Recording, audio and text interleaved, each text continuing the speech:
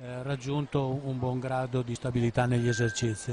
Sì, non so se di là si è visto, volevamo chiederti se Paolo ha toccato la ginnasta nel Caciov, eh, Francesca De Agostini, l'ha sfiorata? Allora, dalla mia posizione eh, mi è sembrato che l'avesse toccata, però, eh, E- e- ero era dubbio anche per noi da questa posizione, sembrava, sembrava una toccata. Dal lato sembrava che l'avesse toccata. Francesca De Agostini appunto impegnata ora al corpo libero per eh, l'Italia e prosegue il programma, siamo ormai nella quarta rotazione e si avvicina alla conclusione di questo grande appuntamento Trofeo Città di Jesolo, rimangono ancora 8-9 atlete per completare la rotazione, ma seguiamo Francesca De Agostini.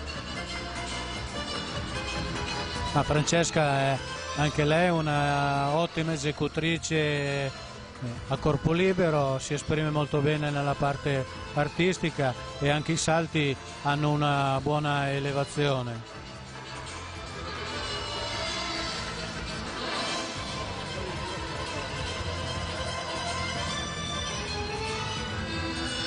Un doppio avvitamento, si sta preparando per la parte conclusiva del suo esercizio.